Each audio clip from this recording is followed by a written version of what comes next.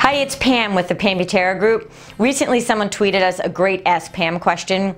Do I need a realtor when buying new construction? The quick and simple answer is absolutely. There are so many layers to buying a new home that having an experienced agent by your side will save you thousands of dollars. They will also help you choose the right lot and the right upgrades, which can make you thousands of dollars in resale value.